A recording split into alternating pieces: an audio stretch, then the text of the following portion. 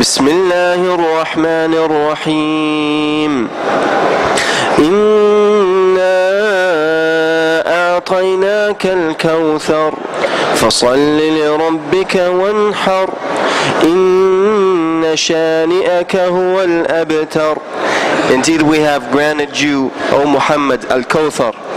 So pray to your Lord and sacrifice to him alone. Indeed your enemy is the one cut off. طيب سورة الكوثر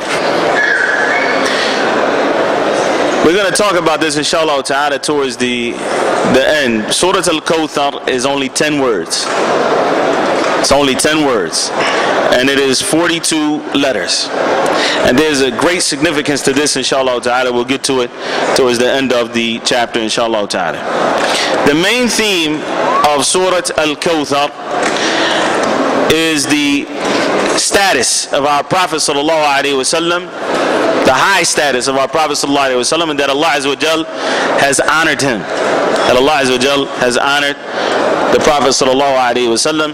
We'll also see in this surah the recurring theme that came in Quraysh, which is that when there is a blessing, a gift that Allah subhanahu wa ta'ala gives his servant, then he has to meet that blessing with ibadah, with the worship of Allah subhanahu wa ta'ala, with showing his gratitude to Allah subhanahu wa ta'ala.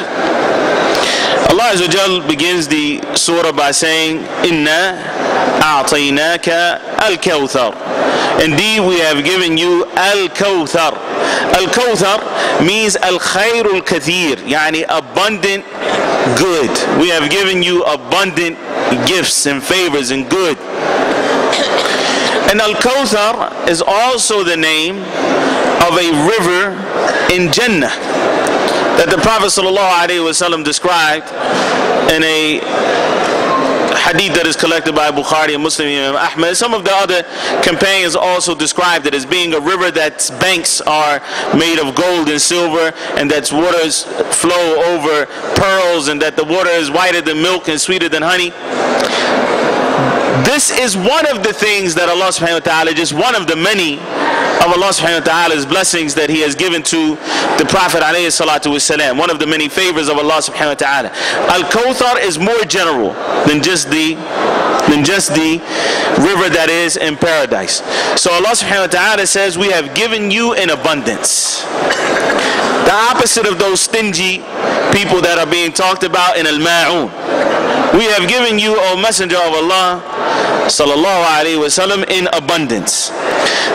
فَصَلِّ لِرَبِّكَ وَانْحَرْ So establish or pray to your Lord and sacrifice. What is an-nahr? An-nahr, you know Yawm an-nahr? Huh? All of you were just making hajj. What is Yawm an-nahr?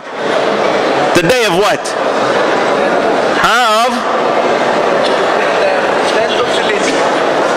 The 10th of Dhul Hijjah. What does it mean though? Yom an-Nahr. What does that mean? The day of what?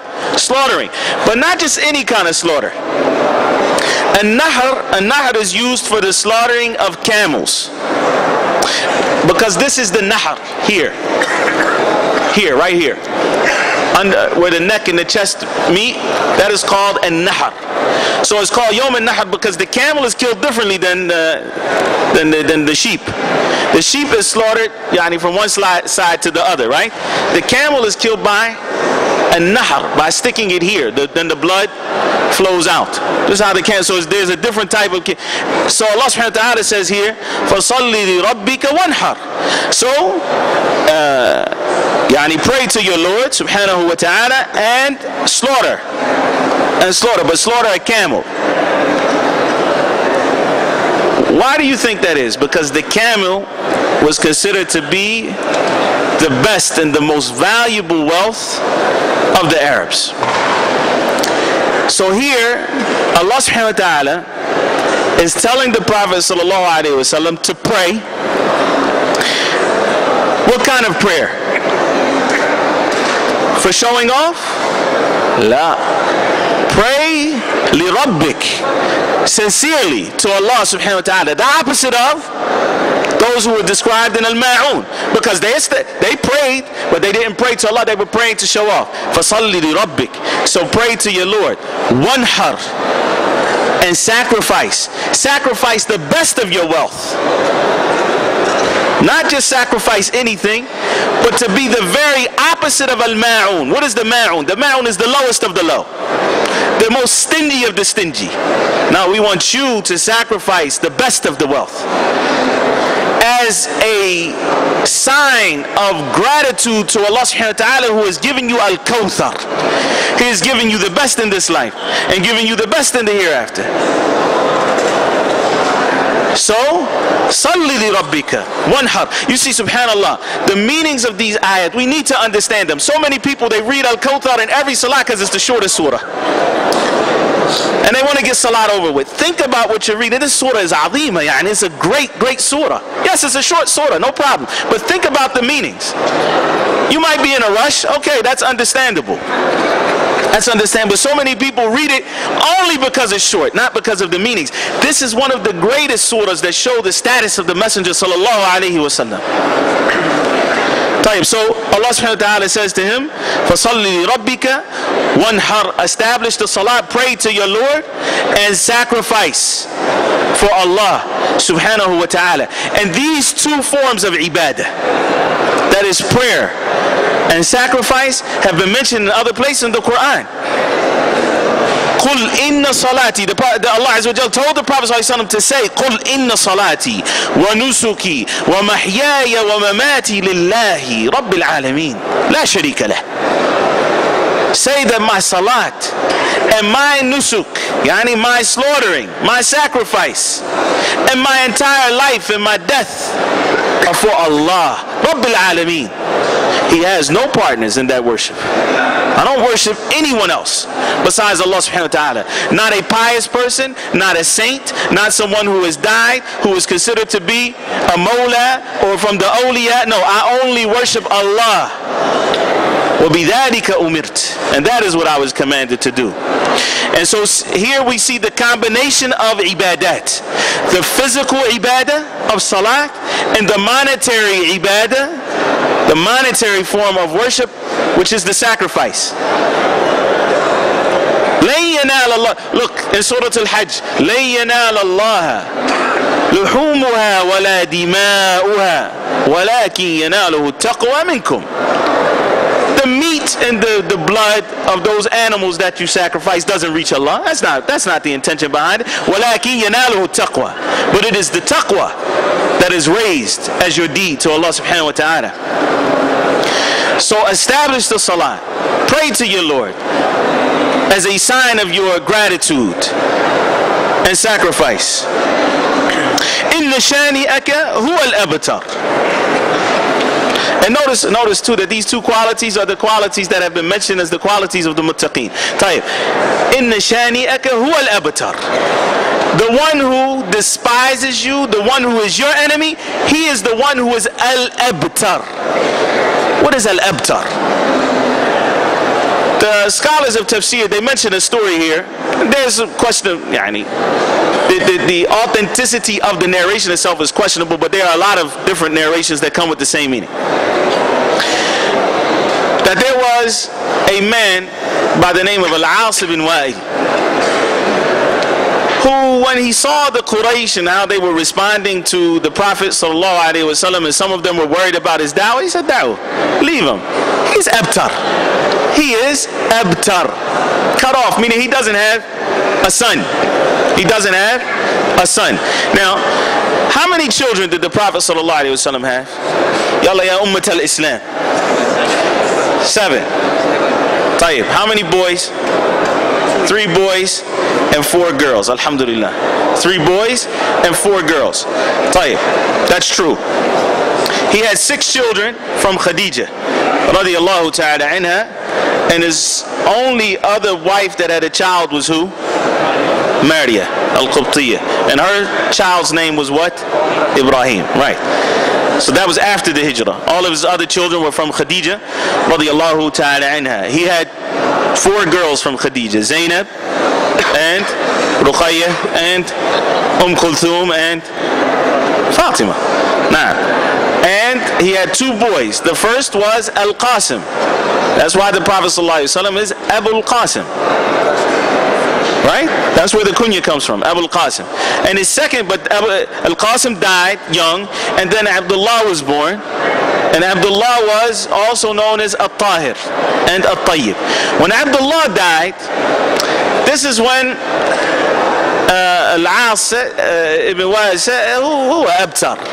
He's cut off. He's not, he doesn't have any lineage. He doesn't have any boys that will carry on the name of his family because it's the boys that carry on the name of the family right so he says he's cut off he is al-abtar and Allah Azza wa responded to him إن شانئك هو الأبتر the one who despises you and detests you and who is your enemy, he is the one who is truly cut off. وَصَدَقَ And how truthful is Allah subhanahu wa ta'ala.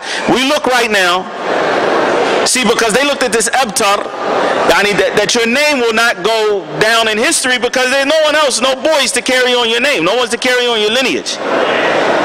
Who is remembered from amongst the khalq of Allah subhanahu wa ta'ala, his creation, more than the Prophet Muhammad sallallahu alayhi wasallam. Who is the real abtar? The real abtar is the one who said that the Prophet sallallahu was abtar. Nobody even heard of his name before. He doesn't have any place in the books of history. The Muhammad sallallahu alayhi wasallam, the most influential man to walk the face of the planet. The one whom every time we pick up a book of Sahih al-Bukhari or Muslim or Sunan Abi Dawud to the end of قال رسول الله صلى الله عليه وسلم فعل النبي صلى الله عليه وسلم رأيت النبي صلى الله عليه وسلم يفعل I saw the Prophet صلى الله عليه وسلم do this نهى النبي صلى الله عليه وسلم كذا the Prophet صلى الله عليه وسلم prohibited from doing this أمر رسول الله صلى الله عليه وسلم behind the Prophet صلى الله عليه وسلم commanded us to do this and every time we, and so there is not a second that goes by except that the Prophet صلى الله عليه وسلم's name is mentioned multiple times in that one second صلى الله عليه وسلم so who is al-abtar Al-Abtar is the one who was the enemy of the Prophet sallallahu alaihi wasallam. And here, here, one of the things that we benefit from this, uh, from this ayah in particular, is that Allah Azza wa Jal protects those who believe and He defends them.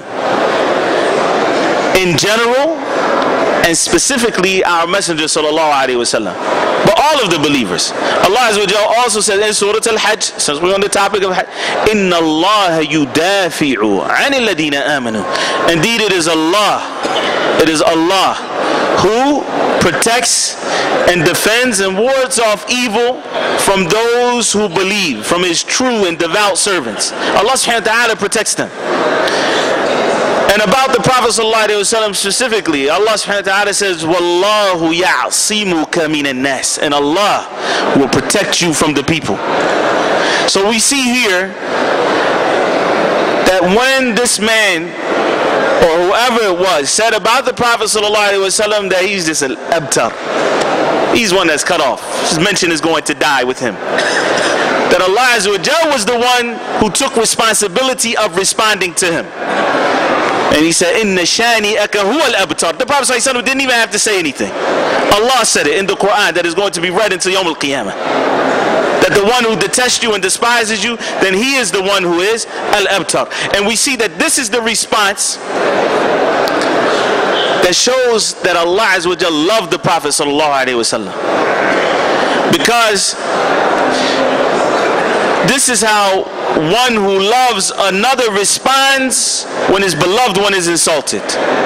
You look like when we were children and somebody says something about your mom.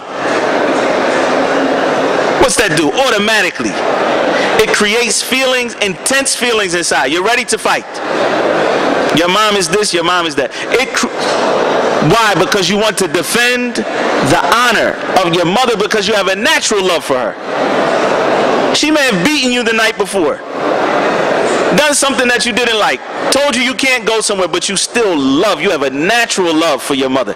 And the response to that natural love is that when someone that you love is insulted, that you defend their honor. And this is for every believer as well. if another believer, if another Muslim is insulted in front of you, if their honor is attacked, that you defend the honor of that Muslim. That you defend their honor because their honor is sacred.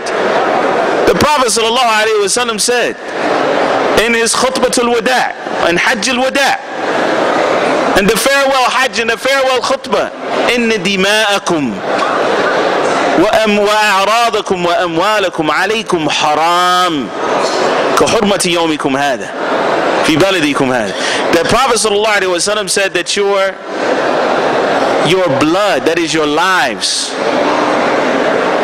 and your honor and your wealth are sacred. Like this day is sacred, like this place that I'm talking is sacred. He was in the haram, and in the vicinity of the haram. And so the Muslim defends the honor of his brother and doesn't allow others to just talk about him behind his back. And this is especially the case, yani this is that Allah Azza wa defend the, the believers and He defend the Prophet Sallallahu Alaihi Wasallam. We see that this is a recurring theme as well in the Quran, that Allah Azza wa defends the honor of the Prophet Sallallahu Alaihi Wasallam. When the disbelievers tried to accuse the Prophet ﷺ of lying against Allah. Either that or he's crazy. Allah Azza wa Jal responded, وَقَالَ الَّذِينَ كَفَرُوا هَلْ نَدُلُّكُمْ عَلَى رَجُلٍ يُنَبِّئُكُمْ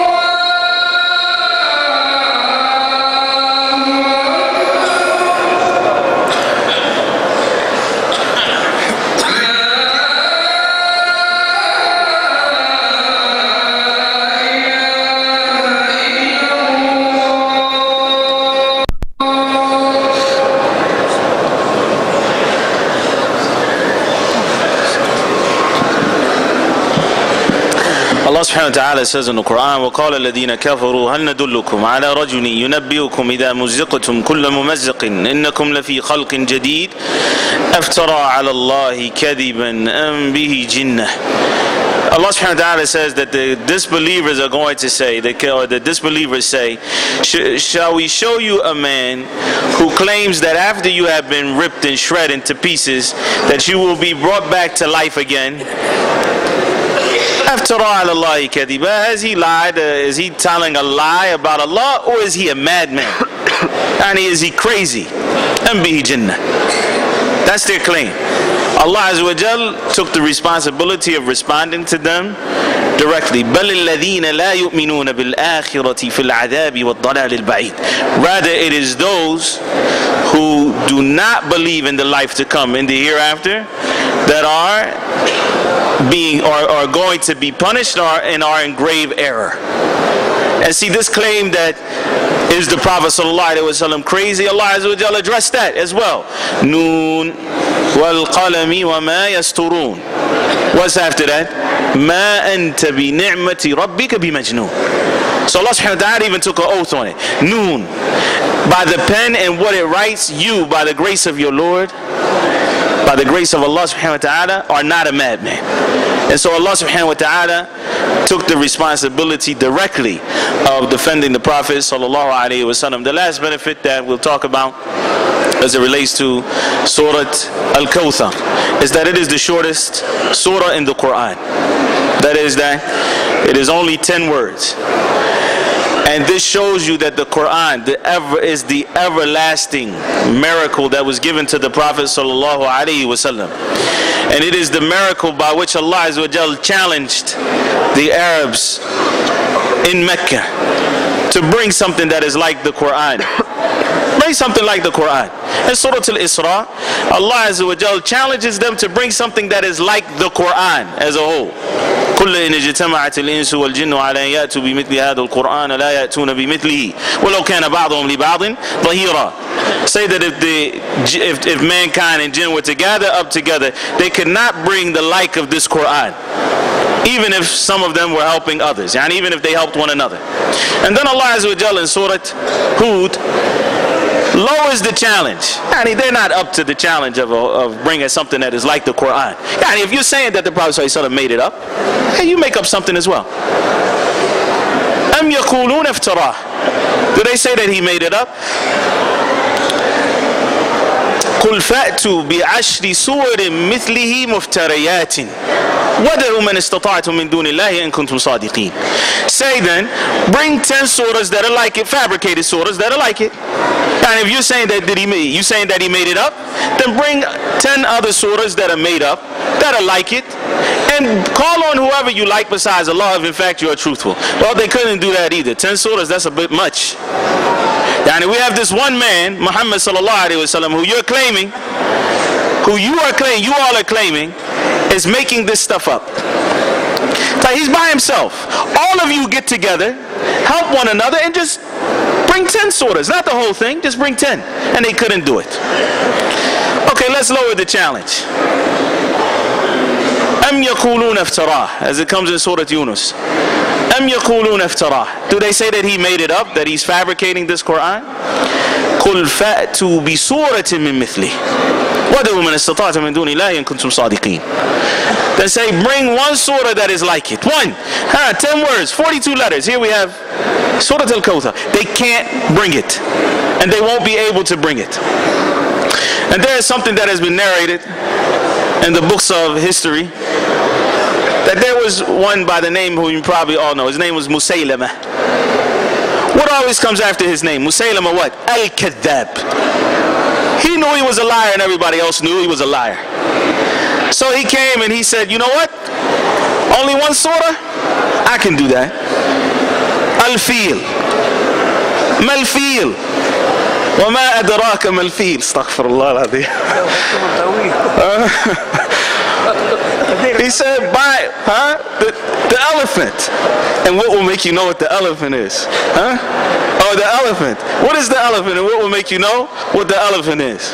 له خرطوم طويل or ز- زلوم طويل. It has a long trunk. وإنه من خلق ربنا الجليل. And it is from the creation of our great Lord. Subhanallah. Ridiculous. Ridic- See, everybody's laughing. Everybody, and, and- but why? Because because it's ridiculous, and they will never be able to bring a surah like the Quran. Yeah, Ikhwan.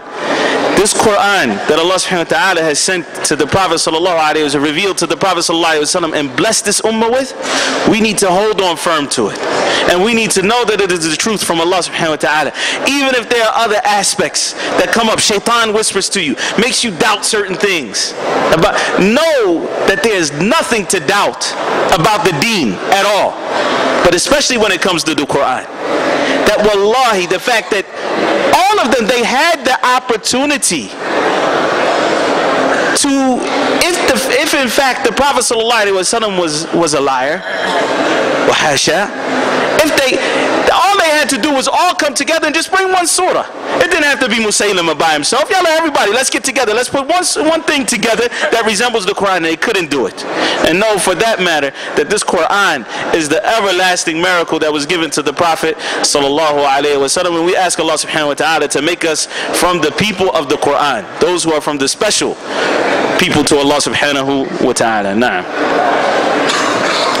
We have no questions.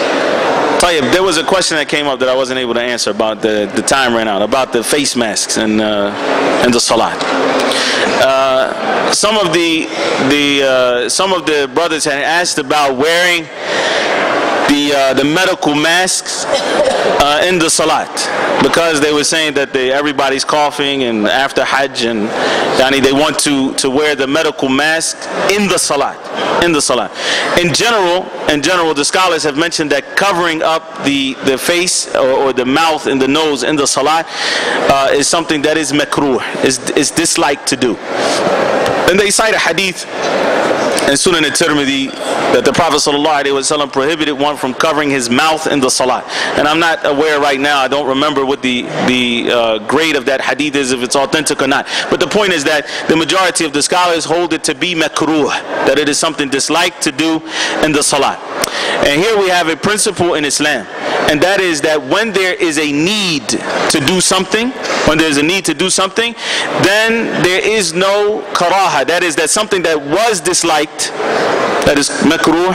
If there's a need to do so, then it is no longer disliked to do. It becomes permissible. The same way we have that principle in Islam that ad-dururat tubihu al-mahdhurat.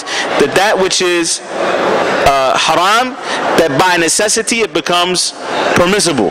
Yani when something something that is haram, when there is a necessity, uh, for example, someone is going to lose his life if he doesn't drink something immediately, and the only thing for him to drink is alcohol. So for him, he drinks the amount that is necessary to keep him alive. And also we have to know that necessity is restricted to what is actually necessary. So if a person, if, if it's if one cup is sufficient for him to regain what he needs in order to live, or for example, something stuck in his throat, and he needs something to wash it down, and that's the only thing that he can find. There's only alcohol around. Then after the thing comes out his throat, he can't say, "Oh, that tastes pretty good," and continue to drink. It's no longer permissible. Only the amount that is necessary to remove the necessity that he has is permissible. And the same thing goes with the issue of al-haja. Yani when a person has a need. A need is less than a necessity. Necessity means your life depends on it or you're going to lose a limb or you know something along those lines. Something that is going to directly affect uh, one of the, uh, the the five things that Islam has been sent to protect or that the Sharia protects. So here, when a person has a need, and here the need is clear, yani he wants to, inshallah ta'ala, protect himself from the germs being spread, then it is not makruh for him to wear it in the salah, in the medical mask, in the salah, if in fact that he feels that he has a, a haja or a need to do so. And Allah subhanahu wa ta'ala knows best. Wallahu a'lam wa sallallahu wa sallam wa barak ala nabiyyina Muhammad. Subhanakallahumma bihamdik. Ashhadu an la ilaha illa anta astaghfiruka wa atubu ilayk.